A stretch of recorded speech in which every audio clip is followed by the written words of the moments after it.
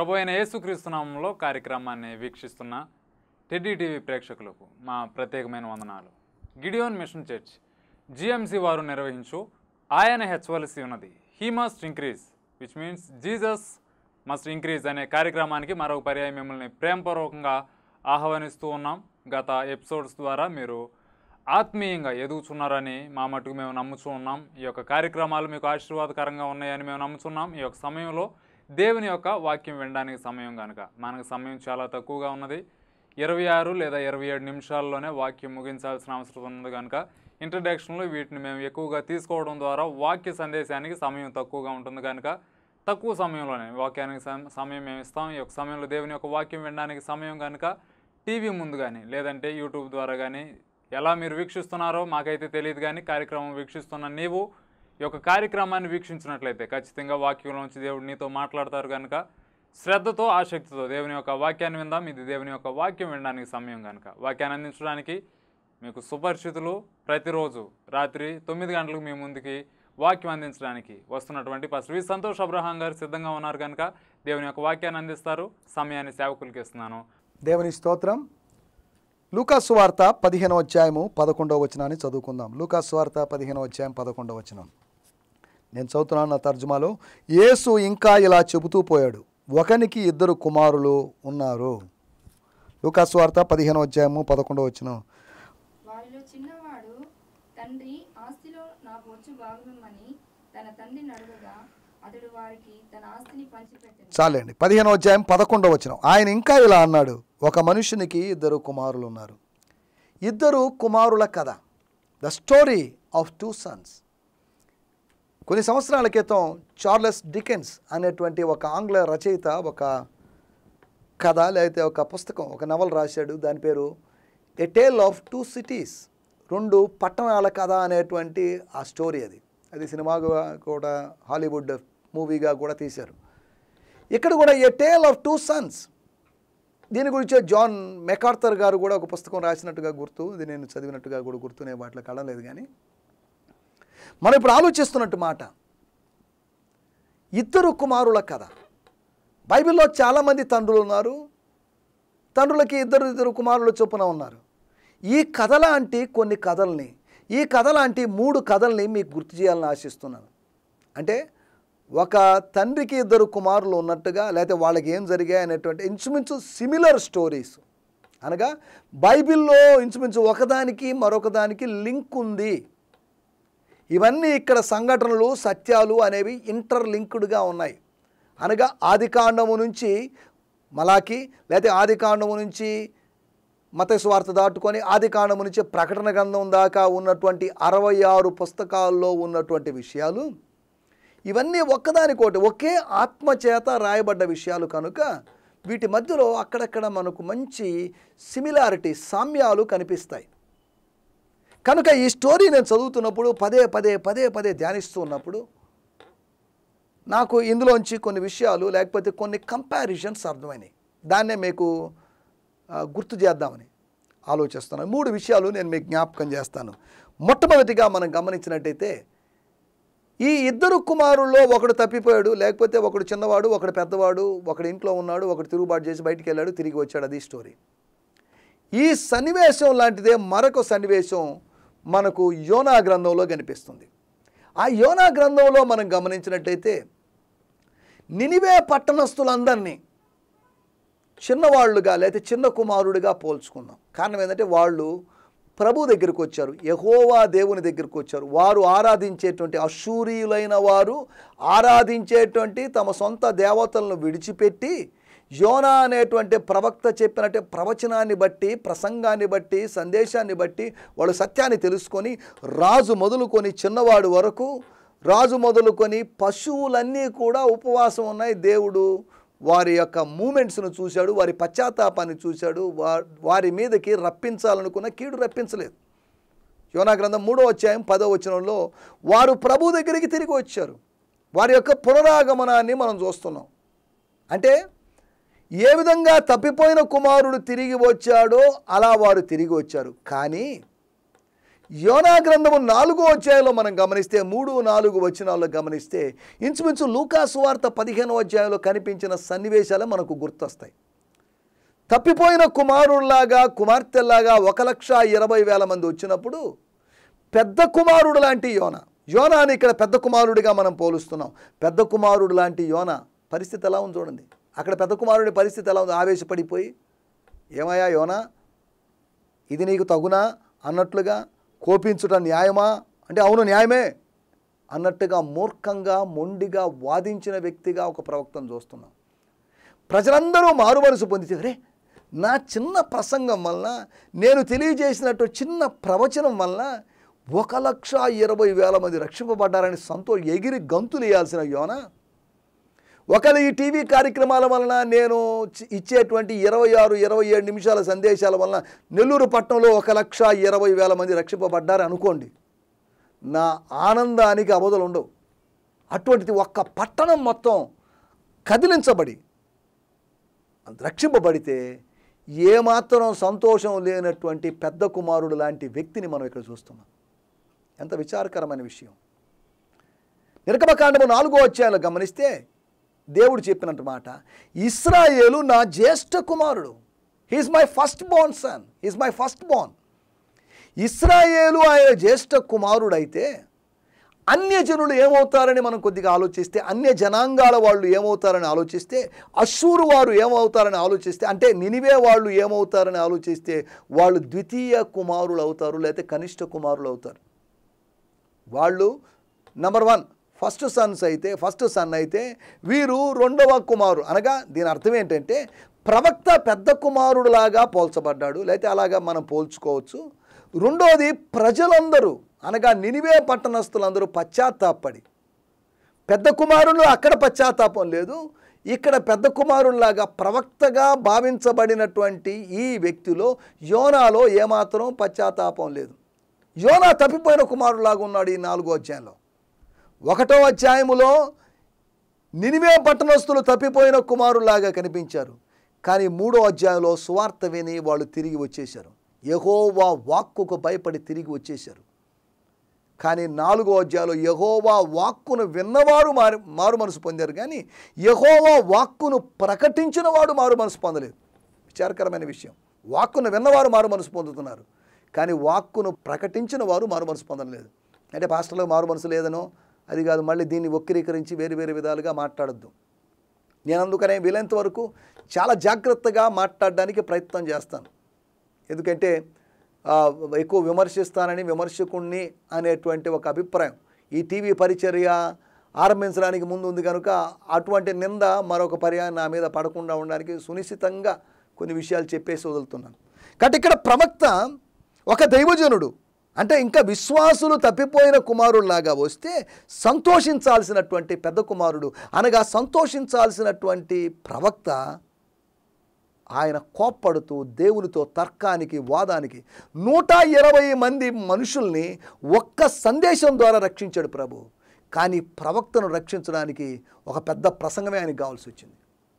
అన్యజనులు సులభంగా మారుతున్నారు కానీ ఆత్మీయులు అనబడిన వాళ్ళు మేము పుట్టు క్రైస్తవులం అండి ఇప్పుడు కాదు మేము మా తాత ముత్తాతల కాలం నుంచి ఓ నాలుగు జనరేషన్ నుంచి మేము క్రిస్టియన్స్ అన్నోళ్ళు మారడం లేదు. కానీ అన్ని జనులైన వారు యేసు యొక్క శక్తిని ఎరిగి క్రీస్తు యొక్క కార్యాలను రుచి చూచి వాళ్ళు వస్తున్నప్పుడు ఈ క్రైస్తవులు పుట్టు క్రైస్తవులు అనబడిన వాళ్ళు సిగ్గుపడాల్సిన అవసరం ఉంది. ఇళ్ళలో ఏమాత్రం దేవు భయం లేదండి. నేను ఎవరిని విమర్శించడం లేదు విమర్శించాలని చెప్పడం లేదు. నేను కూడా పుట్టు క్రైస్తవుడినే పుట్టు క్రైస్తవుడినే ఏం లాభం? పుట్టు క్రైస్తవుడిగా ఉన్నా నేను గుడ్డి క్రైస్తవుడిగా ఉన్నా నేను. చాలా సంవత్సరాలు నా జీవితంలో సుమారు పంతొమ్మిది సంవత్సరాలు ఒక నామకార్థ క్రైస్తవ జీవితం చేశాను. తల్లిదండ్రుల బలవంతం మీద మందిరానికి వెళ్ళేవాడిని. తల్లిదండ్రులు ఒత్తిడి చేసి వెళ్ళి వెనకాల కూర్చొని అల్లరి చేసి లేకపోతే నిద్రపోయో లేకపోతే వినడానికి ఇంట్రెస్ట్ లేకుండా ఏదో తప్ప తప్పదన్నట్టుగా వెళ్ళేసి వచ్చేవాడిని. కానీ పరిస్థితులు మారాయి. దేవుడు ఒక నిజ క్రైస్తవుడిగా మారడానికి ప్రభు నాకు సహాయం చేశాడు. దేవునికి స్తోత్రం. హలేలుయ మొట్టమొదటి విషయం మనం ఆలోచిస్తున్న విషయం ఆ ప్రవక్తను పెద్ద కుమారుడుగాను రెండవది ఆ ప్రజలను చిన్న కుమారుడిగా భావించాం ఆ చిన్న కుమారుడు అనగా ఒక లక్ష ఇరవై వేల మంది ప్రజలు తిరిగి ప్రభు దగ్గరికి వచ్చారు. రెండవ ఉదాహరణను మీకు జ్ఞాపకం చేస్తాను. లూకాసు వార్త పద్దెనిమిదో అధ్యాయంలో మనం గమనిస్తే పదహారు లేదంటే పదిహేను వచనాలు లేదా పదిహేను పదహారు వచనాల్లో మనం గమనిస్తే.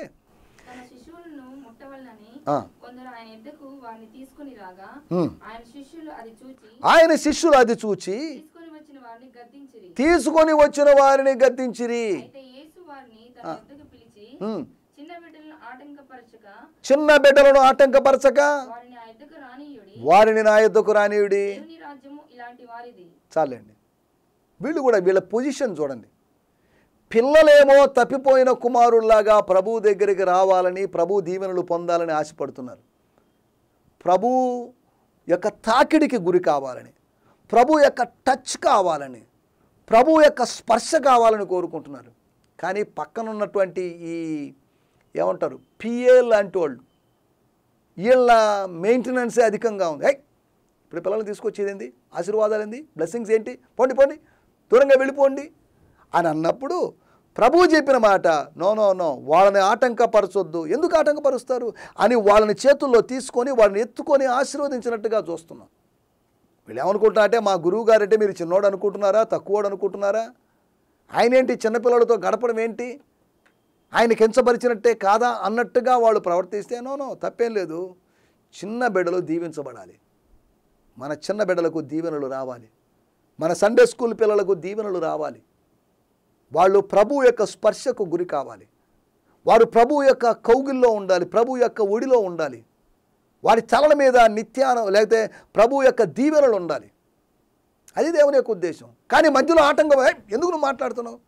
ఎందుకు వీళ్ళని తీసుకొస్తున్నారు ఏం పనిలేదా మీకు? ఇదేం సండే స్కూల్ మినిస్టర్ అనుకున్నారా? చిల్డ్రన్స్ మినిస్టర్ అనుకున్నారా?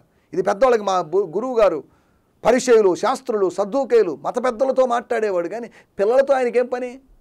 సమరయులతో ఆయనకి పని? కానీ పిల్లలతో ఏం పని? అన్నట్టుగా వాళ్ళు గద్దించారట.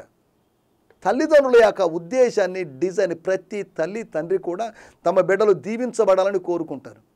ఆ దీవెనలు యూదా మతం ద్వారా దేవాలయం ద్వారా వాళ్ళ మత పెద్దల ద్వారా వాళ్ళ మత బోధకుల ద్వారా యూదా రబ్బీల ద్వారా దొరకనప్పుడు యేసు ద్వారా దీవెనలు దొరుకుతాయని వచ్చారు కానీ ఏదో సామెత చెప్పినట్టుగా దేవుడు గుళ్ళో దేవుడు కరుణించినా కానీ పూజారి కరుణించడు అన్నట్టుగా ఈ పూజారులు ఈ పన్నెండు మంది పూజారులు. పన్నెండు మంది పూజారులు అంటే వాళ్ళు పూజారులు కాదండి. మళ్ళీ మీరు దయచేసి దాన్ని వక్రీకరించొద్దు. అంటే నేను ఊరిని ఆ- సామెతకు అనుగుణంగా చెప్పానంతవరకే. ఈ మధ్యలో వాళ్ళు ఈ మీడియేటర్స్ ఉన్నారంటే వీళ్ళతో తలనొప్పి. అక్కడక్కడ కొంతమంది చెప్తున్న విషయము అయ్యా పాస్టర్ గారు బ్రదర్ మీరు వస్తారా? వాక్యపరిచయం చేస్తారా? మీకు ఎంత ఇవ్వాలి? మీతో డైరెక్ట్ కాంటాక్ట్ కావచ్చు? ఏమన్నా మీడియేటర్ మీడియేటర్స్ ఎవరు లేరు. మనకు మీడియేటర్ యేసు ప్రభు మనకెందుకు మీడియేటర్స్ ఈ కొంతమంది మీడియేటర్స్ అనేవాళ్ళు పెద్ద పెద్ద స్పీకర్లకు మీడియేటర్లుగా ఉంటారు. వాళ్ళు ఏమంటారంటే అయ్యగారిని అంత అంత ఇవ్వండి రోజుకో పదివేలు ఇవ్వండి ఇరవై వేలు ఇవ్వండి నేను ఇలా డిమాండ్లు చేస్తున్నారు. అసలు ఆయన సైలెంట్గా ఉన్నాడు ఇవన్నీ పట్టించుకోకుండా ఉన్నాడు. ఈ మీడియేటర్స్తోనే తలనొప్పిగా ఉంది. డైరెక్ట్గా వెళ్తే మనకు సమస్య లేదు. కానీ క్రైస్తవత్వంలో మీడియేటర్స్ యొక్క అవసరత లేదు. కొన్ని సంవత్సరాల క్రితం ఒక పెద్ద దేవుజనుడు నేను పేరు ప్రస్తావించను కానీ ఆయన కలుసుకుందామని చెన్నై వెళ్ళాను నేను. వెళ్తే అక్కడున్న పిఏ ఒక ఆయన ఇంచుమించు అరగంట సేపు నన్ను తిట్టాడు. అసలు ఏమనుకుంటున్నారు ఆయన అంటే మీరు? అపాయింట్మెంట్ లేకుండా వచ్చావా? ఏది అపాయింట్మెంట్ లెటరు? అని ఏదేదో మాట్లాడారు. నేను చాలాసేపు ఓర్చుకొని నేను చెప్పాను దేవుని సన్నిధికే నేరుగా వెళ్తున్నామండి. దైవజనుని కలుసుకోవడానికి అపాయింట్మెంట్లు అపాయింట్మెంట్ లెటర్లు కావాలా?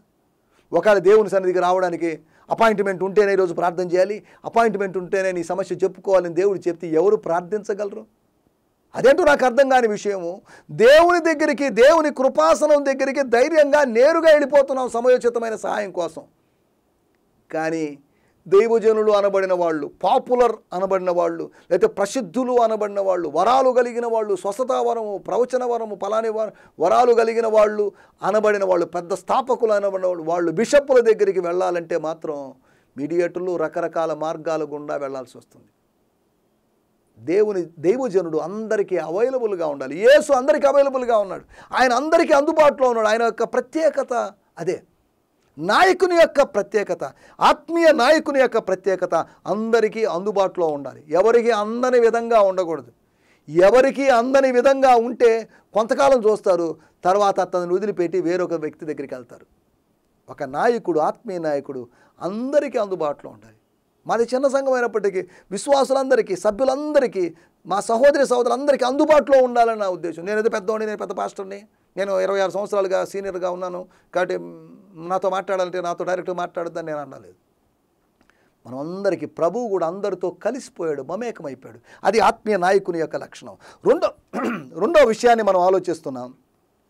శిష్యులు పెద్ద కుమారునిలాగా ప్రవర్తించారు.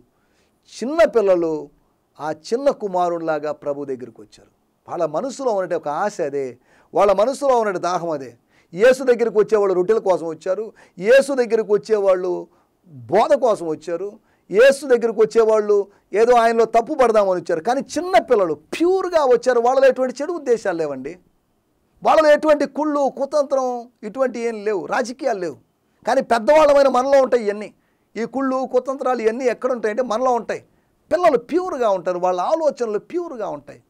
ఒక మాట తిట్టినా గద్దించినా వెళ్ళిపోతారు. అంతవరకు దాని మనసులో పెట్టుకొని రివెంజ్ తీసుకునే స్వభావం వాళ్ళు లేదు. కానీ పెద్దవాళ్ళలో ఈ స్వభావం ఉంటుంది. పెద్దవాళ్ళు అంటే నేను కొంతమందిని ఉద్దేశించే కాదు ఇంచుమించు పెద్దవాళ్ళందరిలో కూడా ఇలా ఉంటుంది. ఆ పిల్లవాళ్ళు తృణీకరించబడ్డప్పటికీ కూడా ఆ పిల్లల్ని తీసుకొచ్చినటువంటి ఆ తల్లిదండ్రులు గద్దించబడినప్పటికీ కూడా వేసి చెప్పారు నో వాళ్ళు రానివ్వండి నో ప్రాబ్లం. నాకు ఇప్పుడు పెద్దోళ్ళు ఎంత ముఖ్యమో పిల్లలు కూడా అంతే ముఖ్యం. దేవుని స్తోత్రం. యేసుకు అందరూ సమానమే. యేసుకు అందరూ కావాలి. యేసుకు కేవలం పెద్దోళ్ళు చదువుకున్న వాళ్ళు ఉద్యోగస్తులు జీతం తెచ్చేవాళ్ళు దశం భాగం ఇచ్చేవాళ్ళు. ఓ సంఘానికి వెళ్తే ఒక యవనస్తుడు కొన్ని సంవత్సరాల క్రితం బాధపడ్డాడు. మా సంఘ కాపరి నాతో మాట్లాడాడు అదేంటిది? ఆయన ఉద్యోగాలు చేసే వాళ్ళతోనే మాట్లాడతాడట. ఎందుకంటే వాళ్ళు దశం భాగాలు ఇస్తారు కాబట్టి. కానీ నేను కాలేజీలో చదువుకుంటున్నాను నాతో. వందనాలు అంకుల్. అన్నప్పటికీ కూడా సీరియస్గా చూస్తాడే తప్ప నాతో మాట్లాడు. ఇలా ఉంటుంది కొంతమంది. కొంతమందిని కేవలం ఓటు బ్యాంకు గానో కొంతమందిని డబ్బులు గానో మనీగా మనం చూస్తున్నాం. వాళ్ళ దగ్గర నుంచి ఏదైనా లాభం వస్తుంది కాబట్టి ప్రజలు అతని దగ్గరికి వాళ్ళని అప్రోచ్ అవుతున్నారు వాళ్ళని పలకరిస్తున్నారు. ఒక వ్యక్తి దగ్గర నుంచి ఏదో లబ్ధి పొందుదామని కాదు ఒక వ్యక్తికి ఆత్మీయ లాభాన్ని చేకూర్చడానికే దేవుడు మనల్ని పిలిచాడు. లబ్ధి కోసం మనం వెళ్తే నష్టపోతాం.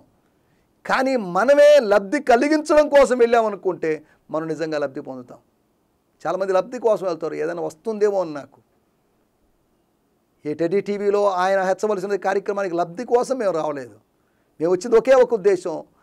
ఈ మాటల ద్వారా ఎవరో కొందరు ఒకరు కావచ్చు నెల్లూరు పట్టణంలో ఒకరు రక్షింపబడినా చాలు. లక్షలాది మంది రక్షింపబడడం కోసం ఒకడు రక్షింపబడిన ఈ ప్రయాస అంతా మేము పడిన ప్రయాస అంతా దాన్ని మరిచిపోయి సంతోషించి ఆనందించేట అవకాశం ఉంది. ఈ ప్రసవ వేదన ఒక తల్లిలాగా ప్రసవ వేదన పడి పిల్లల్ని కంటున్నట్టుగా సందేశాల్ని మీకు అందిస్తున్నప్పుడు దీని ద్వారా ఒక్కరు చాలండి. ఒక్కరు రక్షింపబడిన పరలోక రాజ్యంలో సంతోషం కలుగుతుంది. పరలోక రాజ్యంలో సంతోషం కలిగిందంటే మా బోటి సేవకులకి ఎంతో సంతోషం కలుగుతుంది. ఈ టీవీ కార్యక్రమాల ద్వారా ఏదో పాపులారిటీ సంపాదించుకోవాలని కాదు. ఈ టీవీ కార్యక్రమాల ద్వారా సంఘాన్ని విస్తరణ చేసుకొని సంఘము పెద్దది చేసుకొని ఎక్స్పాండ్ చేసుకోవాలని కాదు. సంఘము సంఘమే టీవీ పరిచర్య టీవీ పరిచర్య. దానికి దీనికి సంబంధం లేదు. ఒకవేళ ఒకరిద్దరు వస్తే దేవునికి స్తోత్రం రాకపోయినా దేవునికి స్తోత్రం. సంఘానికి ఎవరు వచ్చినా రాకపోయినా పబ్లిసిటీ ఉన్నా లేకపోయినా కలిగినా కలగకపోయినా సువార్త ప్రకటించి తీరుతాం. ప్రకటించాల్సిన భారం మా మీద ఉంది కనుక మేము ఖచ్చితంగా ఈ టీవీ కార్యక్రమాల ద్వారా ప్రకటించి తీరుతాం. దేవునికి స్తోత్రం. హల్లేలుయ్యా మనం ఆలోచిస్తున్నటువంటి విషయాల్లోకి మనం వచ్చినట్లయితే రెండవ విషయాన్ని మనం ఆలోచించిన విషయం మొట్టమొదటి విషయం మనం గుర్తు చే మీకు గుర్తు చేసిన విషయం తప్పిపోయిన కుమార్ ఇద్దరు కుమారుల కథను మనం ఆలోచిస్తున్నప్పుడు ధ్యానిస్తున్నప్పుడు మొట్టమొదటిగా పాత నిబంధనలో యోనా పెద్ద కుమారుడిగాను ప్రజలు చిన్న కుమారుడిగాను రెండవ ఉదాహరణలో మనం గమనిస్తే శిష్యులు పెద్ద కుమారుడి స్థానములో అలా బిహేవ్ చేసినట్టుగా తర్వాత రెండవది చిన్నపిల్లలు చిన్న కుమారుని స్థానములో పోల్చదగిన విధంగా ఉన్నట్టుగా మీకు గుర్తు చేస్తున్నాను. మూడో విషయాన్ని కూడా నేను మీకు జ్ఞాపకం చేస్తాను. చివరి విషయం మీకు జ్ఞాపకం చేసి ముగిస్తాను. అపోస్తల కార్యములు ఎనిమిదో అధ్యాయంలో మనం చూసినట్టయితే అక్కడ రెండు వర్గాల వాళ్ళు కనిపిస్తారు. మొట్టమొదటిగా ఒక వర్గం అపోస్తల కార్యములు ఎనిమిదో అధ్యాయము ఒకటో వచనం. ఆ. గొప్ప హింస కలిగినందున అపోస్తులు తప్ప అందరూ అపోస్తులు తప్ప అందరూ చెదిరిపోయినప్పుడు అపోస్తులు మాత్రం ఎరుషలేములోనే ఉండిపోయారు. బిషప్పులు రెవరెండ్లు పాస్టర్లు కాపర్లు అందరూ ఇక్కడ ఆగిపోయారు. ఎనిమిదో అధ్యాయము నాలుగో వచనంలో మనం గమనించినట్లయితే కాబట్టి చెదిరిపోయిన వారు వారు సంచారము చేశారు. వీరు స్థిరపడిపోయారు. ఎరుషలేమును ఎందుకు విడిచిపెట్టి వెళ్ళాలి? అపోస్తల కార్యం ఒకటో అధ్యాయంలో చెప్పాడు మీరు తండ్రి వాగ్దానం చేసినది పొందుకున్నంత వరకు మీరు ఎరుసలేం విడిచిపెట్టొద్దు అన్నాడు. ఇక పొందుకున్న తర్వాత సాక్షులుగా ఉండడానికి సర్వలోకానికి వెళ్ళమని చెప్తే వీళ్ళు సెటిల్ అయిపోయారు ఎరుసలేములో తండ్రి ఇచ్చిన యేసు ఇచ్చిన ఆజ్ఞ వేరు వీళ్ళు చేసే పని వేరు. వాళ్ళని సర్వలోకానికి వెళ్ళమంటే వీళ్ళు స్థిరపడిపోయినటువంటి అనుభవంలోకి వచ్చారు. అందరూ విశ్వాసులు చెదిరిపోయినప్పుడు మీకు అక్కడ ఏం పని? విశ్వాసులను వెతుక్కుంటూ వెళ్ళాల్సిన వాళ్ళు సంఘ సభ్యులను వెతుక్కుంటూ వెళ్ళాల్సిన వాళ్ళు చెదరిపోయిన వారు సువార్త వాక్యాన్ని ప్రకటించారట. ఎంత గొప్ప సంగతో చూడండి. ఈ రోజుల్లో ఆది సంఘంలో మనం గణించి కనిపించినటువంటి మంచి ఉదాహరణ సేవకులు సువార్త ప్రకటించారని కాదు విశ్వాసులే సువార్తను ప్రకటించారు. ఈ రోజులో సంఘ కాపరులు శ్రమ పడుతున్నారు. విశ్వాసులు మాత్రం సోమరులుగా కూర్చుంటున్నారు. విశ్వాసులు కాపరులు కలిసి పనిచేస్తే సంఘమంతా కలిసి పనిచేస్తే పరిచర్య అద్భుతంగా సాగుతుంది. మాబోటి దైవజనులే ప్రయాసపడుతుంటే సంఘం అభివృద్ధి చెందే అవకాశం లేదు సువార్త వ్యాపించే అవకాశం లేదు అనే సంగతి మీకు గుర్తు చేస్తున్నాను. మూడవ విషయాన్ని మనం గమనిస్తే ఆ చెదరిపోయిన వాళ్ళు చిన్న కుమారుల్లాగా అప్పగించబడినటువంటి పనిని పూర్వపు బాధ్యతను నాయకులు చేయాల్సిన బాధ్యతను సువార్థీకరణను తమ భుజాల మీద వేసుకున్నారు. మేము చెదిరిపోయాం మళ్ళీ శ్రమలు కలుగుతాయి మాకెందుకు వచ్చిన గొడవ అండి? మాకు వాక్యం తెలుసా? మాకు ట్రైనింగ్ తెలుసా? మాకు బీటీహెచ్ ఉందా? మాకు ఎండి ఉందా? అని వాళ్ళు అనుకోలేదు. ప్రకటించవలసిన భారము వాళ్ళ మీద ఉంది కనుక వాళ్ళు ప్రకటించారు అంతవరకే. విశ్వాసులారా ప్రకటించవలసిన భారం మీ మీద ఉంది. సంఘ సభ్యులారా ప్రకటించవలసిన బాధ్యత మీ మీద ఉంది. సువార్త ప్రకటించకపోతే మీకు శ్రమ అనే సంగతి మీకు గుర్తు చేస్తాను. అది పౌలుకు మాత్రమే కాదు. సువార్త ప్రకటించని ప్రతి వ్యక్తికి కూడా అనగా సోమరిగా ఉన్న ప్రతి వ్యక్తికి శ్రమే. నేను బిషప్ని నేను రెవరెండ్ నేను సువార్త ప్రకటించనంటే కుదరదు. సమయమందును అసమయమందును సువార్త ప్రకటించము. సంఘ కాపరి అయినటువంటి తిమోతికి ఎవరొస్తున్నాయి తిమోతికి అపస్తున్న పౌలు చెప్పిన మాట సువార్త ప్రకటించు. ప్రీచ్ గాస్పల్ సమయమందు అసమయమందును. ఇక్కడ సమయమందే వాక్యం బోధించడం లేదు. అసమయం ఉంది ఇంకేం బోధిస్తారు? మనవాళ్ళు సమయం ఉండగానే ఏదో ఖాళీగా ఉన్నప్పుడు అన్ని పనులు చూసుకుని ఇంటి పనులు ఫంక్షన్ పనులు సొంత సొంత పనులు బంధువుల పనులు.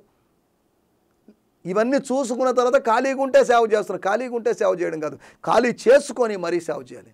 అవసరమైతే కొన్ని పనులు పక్కన పెట్టేసి పనులన్నీ ప్రభు చేతికి అప్పగించేసి ప్రభు పని నాకు ముందు అది అది నాకు ముఖ్యం అనుకునే వాళ్ళు ఈ రోజుల్లో కావాలి దేవునికి. దేవునికి స్తోత్రం. హలేలుయా నా మాటలు నేను ఇక్కడ ముగిస్తున్నాను. ఒక తండ్రికి ఇద్దరు కుమారులు ఉన్నారు. అది మన స్టోరీ. ఇదేదో తండ్రి కుమారుల స్టోరీ తండ్రి కుమారుల అనుబంధాన్ని గురించి మాట్లాడుతున్నాను అనుకుంటున్నారు. అది కాదు మన పాయింట్. ఇటువంటి మూడు ఉదాహరణలు మీకు గుర్తు చేస్తున్నాను. మూడు ఉదాహరణలు. ముగ్గురు లేకపోతే ముగ్గురు వ్యక్తులు. ఇంకా చెప్పాలంటే యోనా. ఈ వాజ్ నాట్ హ్యాపీ యోనా సంతోషంగా లేడు. ప్రజలు మారు మనసు పొందినప్పుడు. రెండవదిగా మనం గమనించినట్లయితే శిష్యుల దగ్గరికి శిష్యులు హ్యాపీగా లేరు. పిల్లలకి ఎందుకు ఇంతమంది పిల్లలు వస్తున్నారు? ఈయనకేం పని? మేము ఎవరు పిల్లలతో ఆడుకోవడం లేదే పిల్లలతో టైం చేయడం స్పెండ్ చేయడం లేదే ఈయనందుకు ఇలా చేస్తున్నాడు? అన్నట్టుగా వాళ్ళని గద్దించారు పేరెంట్స్ని గద్దించారు. మూడోదిగా మనం గమనిస్తున్నట్లయితే అపోస్తులందరూ నిమ్మకు నేరం ఎత్తినట్టు బెల్లం కొట్టిన రాయిలాగా ఎరుశ్లేములో ఉండిపోయారు. సియోనులో నిర్విచారముగా ఉన్న వారికి శ్రమ. వీళ్ళు ఏం చేశారో నాకు అర్థం కావాలి మళ్ళీ దేవాలయం మళ్ళీ యోధామతంలోకి వెళ్ళిపోయారో ఏంటో మరి తెలియదు అపోస్తుల కార్యములు ఎనిమిదో అధ్యాయం వరకు అపోస్తులు ఏం చేశారో అపోస్తులందరూ యూనిట్గా లేకపోతే వాళ్ళ యొక్క టోటల్ గ్రూపును గురించి ప్రస్తావించబడింది. వాళ్ళందరూ ఎరుసలేములోనే ఉన్నారు అని చెప్తున్నప్పుడు మనోళ్ళు కొంతమంది కొన్ని సృష్టించేసి వాళ్ళు సీట్లు వేసుకున్నారు ఇండియాకి ఒక ఆయన వచ్చాడు స్వార్థ ప్రకటించాడని చెప్తున్నారు. లూకా అనేటువంటి వైద్యుడు ఆయన చరిత్రకారుడు ఆయన చెప్పినటువంటి హిస్టారికల్ ఇన్సిడెంట్స్ చాలా చక్కగా ఉన్నాయి. వాటిలో ఏం తేడా లేదు. వాటిలో ఏం లోటు లోటు లేదు అని కొంతమంది భక్తులు కూడా చెప్పారు. కానీ మనోళ్ళు చెప్తున్నారు ఇండియాకు చీట్లు వేసుకున్నారట. అపోస్తుల కార్యంలో ఒకటో అధ్యాయంలోని చీట్ల వ్యవహారం ముగించబడింది. అపోస్తుల కార్యం రెండో అధ్యాయంలో పరిశుద్ధాత్ముడు వచ్చినప్పుడు చీట్లతో పని లేదు. అటువంటిప్పుడు చీట్లు వేసుకొని ఇండియాకి వెళ్ళాలనుకొని వచ్చారని సువార్త చెప్పారని ఏదో మనం చెప్పేసి ప్రజలను మభ్యపెడుతున్నారు. సరే వీటన్నిటిలోకి వెళ్ళలేదు. మనం ఆలోచిస్తున్న విషయం ఒకవేళ నువ్వు కూడా ఆ పెద్ద కుమారునిలాగా అనగా ఆ యోన అనేటువంటి ప్రవక్తలాగా ఉన్నావేమో?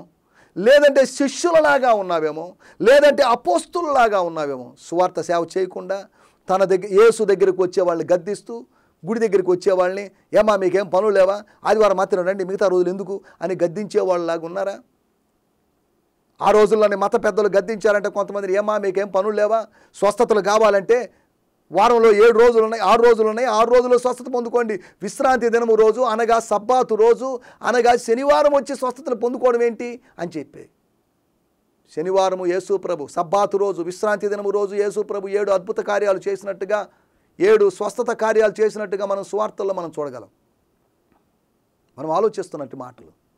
ఒకవేళ నువ్వు కూడా ప్రవక్త యోనలాగా తిరుగుబాటుదారుడిగా ఆ పెద్ద కుమారుడు ఎలా ఉన్నాడు అలా ఉన్నావా? శిష్యుల్లాగా కొంతమందిని గద్దిస్తూ చాలా సంతోషం. మా పిల్లల్ని తీసుకొచ్చారు. రేపు కూడా కొంతమంది తీసుకొనండి. మా గురువు గారు మా బోధకుడు వారి తల మీద చేతులు ఉంచుతాడు. వారికి మంచి భవిష్యత్తు భవిష్యత్తు వస్తుందని చెప్పాల్సిన వాళ్ళు అలా చెప్పకుండా గద్దిస్తున్నారు. ఆవేశపడిపోయి కోప్పడిపోయి తర్కాలకు దిగి వాదనలకు దిగి వెలుపల చీకటిలో ఉన్నటువంటి పెద్ద కుమారునిలాగా యోనా ప్రవక్త శిష్యులు అంతేకాకుండా అపోస్తులు ఉన్నట్టుగా ఉండకుండా నినివే పట్టణస్తుల్లాగా తిరిగి రండి. అంతేకాకుండా చిన్న పిల్లల్లాగా ప్రభు దగ్గరికి రండి. అంతేకాకుండా చెదరిపోయిన వాళ్ళలాగా సువార్తను ప్రకటించండి. అలా చేయడానికి అలా ప్రకటించడానికి ప్రభు మనకందరికీ సహాయం చేయనుగాక. మనందరం ఒక తండ్రి యొక్క కుమారులమే అనగా పరమ తండ్రి యొక్క కుమారులమే. ఎన్ని కులాలైన మతాలైన ఉండొచ్చు. ఈ కులాలు మతాలు మనం సృష్టించుకునేవి. మానవులందరూ లేకపోతే ఈ లోక ప్రజలందరూ భారతీయులందరూ దేవుని బిడ్డలే. కానీ ఈ తేడాలను మనం సృష్టించుకున్నాం. ఈ దేవుని బిడ్డలుగా ఉన్నవారు వీటిలో మళ్ళీ పెద్ద కుమారుడు చిన్న కుమారుడు అని తేడాలు వచ్చాయి. చిన్న కుమారుడు అనేకులు వస్తున్నారు. సీనియర్లుగా ఉన్నవాళ్ళు జూనియర్లు గద్దించకుండా సీనియర్లుగా ఉన్నవాళ్ళు అర్థం చేసుకొని సహకరించి చిన్న కుమారులను తప్పిపోయిన కుమారులను స్వీకరించాల్సిన బాధ్యత మన మీద ఉంది. కాబట్టి దేవుడు ఇట్టి అనుభవాల్లోకి మనల్ని నడిపించునుగాక దేవునికి స్తోత్రం. మీ అందరికీ వందనం ప్రభు పేట మీ అందరికీ వందనాలు. ప్రార్థన చేసుకుందాం. మమ్మల్ని మికిలిగా ప్రేమించిన మా ప్రియా ప్రలకు తండ్రి నీకే వేళ నా స్తోత్రాలు చెల్లించుకుంటున్నాం ప్రభా. ఇప్పటి వరకు నాయన తండ్రి మీ బిడ్డ ద్వారా మేము విన్న వాక్యాన్ని బట్టి నీకే వంద స్తోత్రాలు చెల్లించుకుంటున్నాం. తండ్రి టీవీ ముందు కూర్చొని అయినా నీ వాక్యాన్ని శ్రద్ధగా వింటున్నా. నీ బిడ్డలందరినీ దీవించండి ప్రభా. తండ్రి మేము చెదరిపోయే వారిగా కాకుండా ప్రభా నైనా నీ వద్దకు వచ్చే వారంగా ఉండడానికి సహాయం చేయండి నాయన. చిన్నపిల్లలలాగా నైనా నిన్ను ప్రేమించే వారంగా ఉండడానికి సహాయం చేయమని వేడుకుంటున్నాం ప్రభా. అనేక రీతులుగా నాయన ఈ లోకంలోనే మేము జీవిస్తుండగా ప్రభా. ఈ టీవీ ద్వారా నీ బిడ్డ చెప్తున్న ప్రతి వాక్యాన్ని ప్రతి మాటని నాయన మేము గుర్తు చేసుకొని నాయన వాక్యానుసారమైన జీవితాన్ని మేము జీవించడానికి కృపను దయచమని వేడుకుంటున్నాం తండ్రి. టెడ్డి టీవీ ద్వారా తండ్రి నీ బిడ్డ ప్రచారం చేస్తుండగా నీ వాక్యాన్ని ప్ర ప్రతి ప్రతి ఒక్క బిడ్డ నాయన నేను నైనా నమ్మి దీ నైనా నీ ఎద్దుకు రావడానికి సహాయం చేయమని వేడుకుంటున్నాం ప్రభా. ఈ లోహం బహు బహు చెడ్డగా ఉంటుండగా ప్రభా. లోక రీతిలో మేము నడవకుండా ప్రభా. చిన్నపిల్లల రీతిలో నాయన ప్రభా నిన్ను ప్రేమించే వారింగా నాయన ప్రతి ఒక్కరికి మనసును దాయిచ్చామని వేడుకుంటున్నాం ప్రభా. అదేవిధంగా నీ బిడ్డని ఇంకా దీవించి ఆస్వాదించిన ఆయన నీ మేలులతో నింపమని వేడుకుంటూ యేసుక్రీస్తుని అతి పరిశుద్ధ నామంలో అడిగి వేడుకుంటున్నాం తండ్రి.